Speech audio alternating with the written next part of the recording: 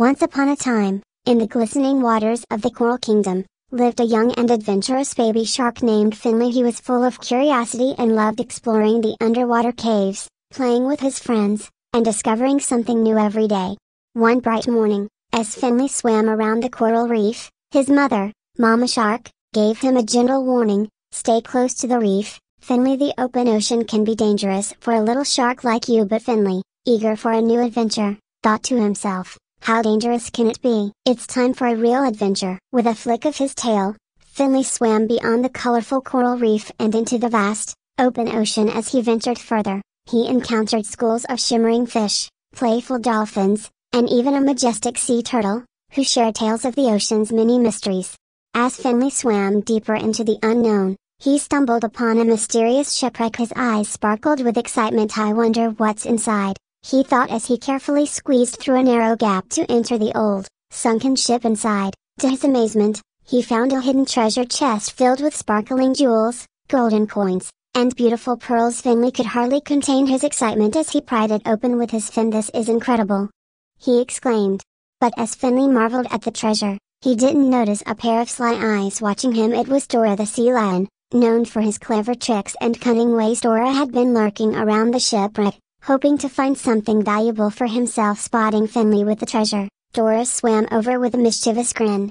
Well, hello there, little shark, Dora said smoothly that's quite a treasure you found how about letting me take care of it for you? Finley frowned, clutching the chest tightly I found it, so it's mine I don't need anyone to take care of it for me, he said firmly besides, I was going to share it with everyone in the Coral Kingdom. Just then, Finley's friend Ollie the octopus appeared, Sensing something was wrong Ollie noticed Dora's sly smile and immediately knew what was happening what's going on, Finley? Ollie asked. Finley quickly explained, I found this treasure, and now Dora wants to take it. Dora grinned faded that treasure is mine now, and I won't let anyone take it from me. He declared, his tone growing menacing. Before Dora could make a move, Ollie, with his quick reflexes, wrapped his tentacles around the chest and signaled Finley to help together, they pulled the treasure chest out of the shipwreck and swam away as fast as they could. Dora, realizing he was being outsmarted, chased after them, snarling, You won't get away with this. As Dora closed in on them, a large shadow suddenly loomed overhead. It was Mama Shark. She had been searching for Finley and had arrived just in time with a powerful flick of her tail. She swam in front of Dora and bared her sharp teeth. Don't you dare touch my son! She roared. Dora, realizing he was no match for Mama Shark, quickly backed off with a growl this isn't over, little shark I'll be back, he muttered as he swam away. Relieved and grateful, Finley and Ollie swam back to Mama Shark thank you, Mama. You saved us, Finley exclaimed. Mama Shark nuzzled Finley lovingly I'm just glad you're safe, Finley now, let's take this treasure back to the Coral Kingdom and share it with everyone.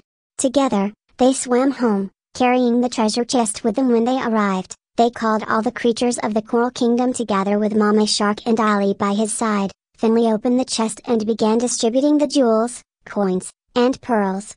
The dolphins received beautiful pearls, the fish were adorned with sparkling jewels, and the sea turtles were given golden coins. The ocean was soon filled with joy and gratitude as the Coral Kingdom celebrated their newfound wealth with a grand feast. As the celebrations continued, Mama Shark smiled with pride knowing that her son had learned an important lesson that true treasure lies in kindness and sharing with others. The moral of the story is that the greatest riches come from sharing and helping others, not from keeping treasures to oneself. The end.